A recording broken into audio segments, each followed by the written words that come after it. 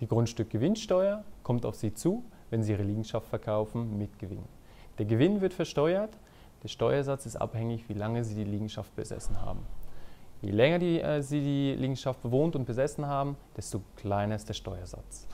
Sie können die Steuer aber auch aufschieben, indem Sie eine Ersatzbeschaffung machen, das heißt, Sie kaufen eine neue Liegenschaft. Dazu müssen folgende Kriterien erfüllt sein.